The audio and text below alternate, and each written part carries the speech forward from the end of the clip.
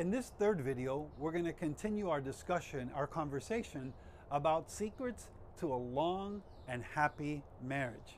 This is what you want, and this is definitely what I want. We started in this first video some time ago, whether you're watching this daily or weekly, we started talking about this idea of praying together with your spouse. Every single day, you and your spouse come together. It's not complicated. Don't make it complex. It's very simple. Talk with God, talk with your spouse about talking with God, and then talk to God together as a couple. And as you build this habit into your marriage every single day, you're going to see how it starts to change your thinking and the framework of your relationship. In the second video, we talked about the importance of committing to a local church. You and your spouse need to commit to a local church that is healthy. And we talked about that idea. What does it mean to be healthy? It means that they preach from the Bible, they teach from the Bible. The church is practicing the one another's. The church is interested in impacting their community and impacting their world. It's a place where you can go and serve and worship together. And we talked about this simple idea couples who worship together stay together. Now, in this third week or this third video, depending on how you're watching it, we're talking about a very simple idea of getting and committing to marriage training and coaching. So let's write this down week three. Here's the idea marriage training and coaching.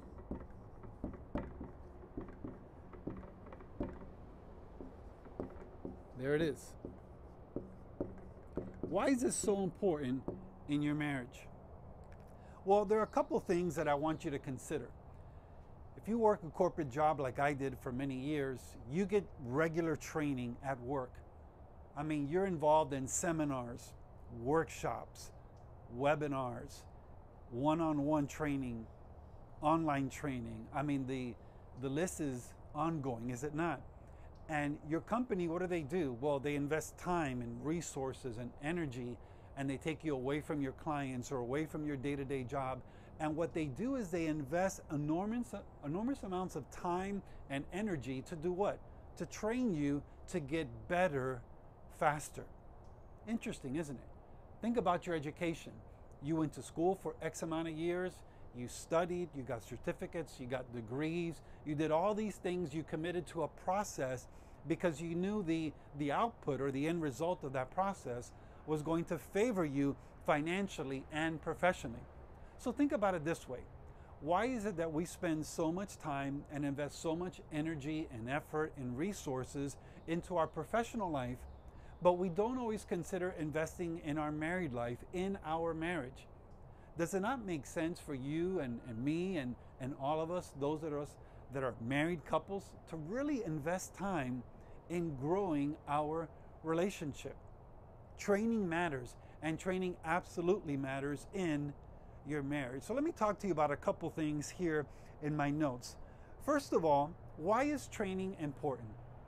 Training is, is important really because couples who train together stay together. Couples who learn together stay together and grow together. You and I need to develop our skills, our relational skills, our communication skills, our skills of emotional intelligence and empathy, and all these things, compassion. Training is important because your marriage is either on an incline or it's on a decline. Your marriage is either moving forward and learning new skills and growing in capacity to, to love and serve and give, or it's on the decline and you're working your way back. That's not what we want. We want to help you move your marriage forward, and that's what training does. That's what regular skills training can do for your marriage and for your life. There's another point here in my notes that I'd like to mention. You can't make your marriage better without good training. Think about it. I mean, if you sit home every single night or weekend just watching movies, that doesn't really do a lot for your marriage. That doesn't do anything for your marriage. So there has to be a level of intentionality. There has to be this desire in you and in your spouse to grow and build your relationship. Because if you don't invest in building your relationship, you're going to invest it in something else. The other thing I want to mention to you is training is a long term investment in your happiness as a couple. It really is. As you train yourself more, as you learn more skills in your relationship, it is an investment in the happiness of your marriage, not only for today, but also for tomorrow. One of the things that I always tell couples is this there are three C's for your marriage to be truly successful and happy over the long run. So I'm going to write these things down and, and let's talk about them one by one. So these are the three C's of growing marriages. Okay? So here's number one the first one you need a commitment. Now write them down and then we'll talk through them. Okay? So that's the first one. Number two, you need a coach. And number three, you need a course of action. I love that word, action. So let's take a look at these a commitment, a coach, and a course of action.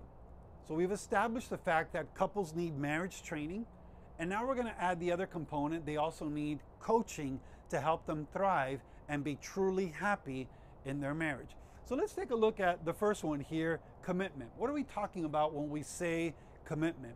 Although most of the couples watching this will be faith based couples, it's not exclusive to faith based couples.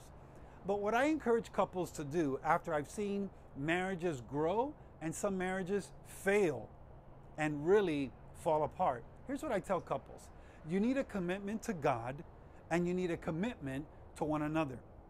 You need a vertical commitment and you need a horizontal commitment that is unbending for the rest of your life.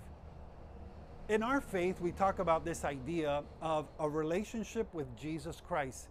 This isn't something weird or strange or mystical, but it means that you recognize, first of all, that you're not perfect, that you've sinned against God, you've broken His commandments, and you realize that God sent His Son, Jesus Christ, to die on the cross for your sins, to shed His blood, he was buried and he rose from the grave on the third day. You put your faith in God's Son, in Jesus Christ, what he did for you, and you believe in him and you repent and you turn from your sins, from your old ways, and you start a new way, a new plan. This begins your vertical relationship with God. It's not by works, it's by faith. It's not by money that you write, you know, a check that you write to the church or anything like that. It's by faith in God's Son, Jesus Christ. He gives you access to God the Father by faith. And once you have this relationship, then God expects you and I to develop this relationship every single day. That's the vertical part. The horizontal part and the commitment to your spouse is forever until God separates you by death. So every thriving marriage, every marriage that is happy short term and long term, has these two commitments a commitment to God and a commitment to one another until God decides to take you home. The second thing is a coach.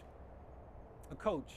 Have you ever wondered why top performing athletes, some of these men and women, make anywhere from 100,000 to 200,000 to $500,000 per match, per game? They're at the top of their game. I mean, can they really get better? And the answer is yes, they can. That is why they hire a coach.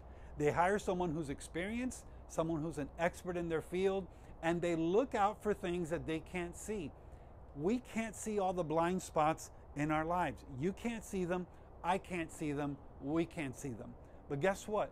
When you hire a coach, they can see the blind spots in your life and also in your marriage. So every couple needs a commitment to God, a commitment to one another, and they need a coach to help them to get better faster. Think about it this way you're only going to grow in your relationship, in your marriage, when people can speak the truth into your life and into your marriage. The only way you're going to get from where you are to where you want to be is to get a coach to look at things without any emotional attachment, to tell you things as they are, to challenge you and ask questions that maybe no one else is asking. Maybe you're a business owner or someone that leads many people, and there comes a point in leadership where people don't always tell you the truth. It's not because they don't want to, but they might be intimidated by your position. Coaching allows you to get the truth as it is in the moment to help you pivot into a forward direction. So we need a commitment, we need a coach, and number three, we need what? We need a course of action. We need a proven way to help you move forward in your marriage, not all at once, not the fire hose approach where you get all this information and all this data at once. None of us enjoy that. It doesn't really help and it's not effective. Instead, you need a way to incrementally grow and learn new skills and build this into your relationship and into your weekly rhythm. None of us have an extra four hours every week to invest in our marriage, but all of us can find 30 minutes a week to invest in growing our relationship. So, what happens when a couple decides to get serious? Get serious about praying with one another daily, praying with one another, encouraging one another, building this part of their marriage. What happens when a couple begins to attend a church that is healthy, one that talks about the Bible and teaches the Bible in a way that is practical for them to understand and implement, one where they can worship together? What happens when a couple begins marriage training and coaching and they have a weekly pattern of developing new relational skills? What happens? Well, they're just starting to realize and they're going to start to experience greater happiness and joy in their marriage. Now, there are a couple more things we're going to learn, but these three, once you put these three in place, they're going to significantly help you in your marriage relationship. At this point in our video, if you say, I've never really considered marriage coaching and training, I would like to invite you to watch a free training webinar. It doesn't cost you a single cent. All it costs you is 30 minutes of your time and your spouse's time. If you would like more information and you'd like to just consider how can marriage training and coaching serve me and my spouse? Well, this is a good way to start.